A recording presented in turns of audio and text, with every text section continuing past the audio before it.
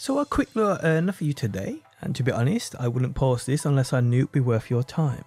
But remember, as with every guide, first make sure prices in your server are worth that grind. Although most take a grind, this one's real easy. How's it going people, my name is DPJ and if you enjoyed the video leaving a like really helps out and if you like what you see and want to see more, be sure to subscribe. Okay, so oil right now is at an average of between 0.80 to 210 on my server, it just depends on the time of day. It's a material people don't want to farm but need for various things.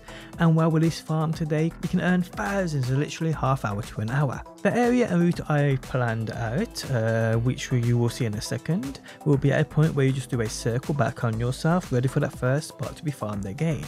Meaning you can just rotate this spot, rotate this farm until you're either full up or get bored. And worst case is the oil sells to the lowest estimate on your server.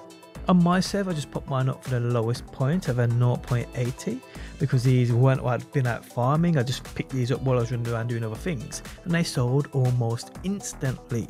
I could have probably gotten more. In fact, I know I could have gotten more because the other ones for sale on my server, the closest to mine, were £1.60 or 1 coin 60. Now the farm is one I recorded ages ago but never posted it. But after a quick look, it's still crazy good and barely anyone goes here still.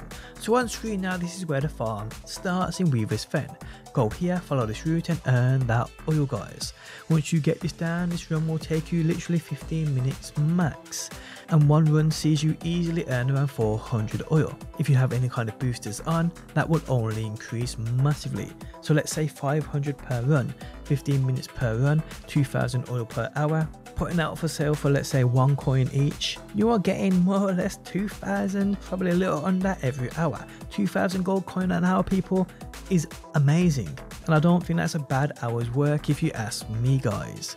But remember, before you do this and before you do anybody's farming when it comes to selling items, make sure the item on your server is worth your time.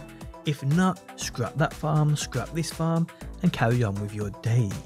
But on that note, the end of the video has arrived. If you enjoyed it, leaving a like really helps out. If you're new around here and want to see more, be sure to subscribe. And if you never want to miss a video I upload, you can turn notifications on by hitting that bell button. But guys, thanks as always for stopping by and hopefully I'll see you on that next one.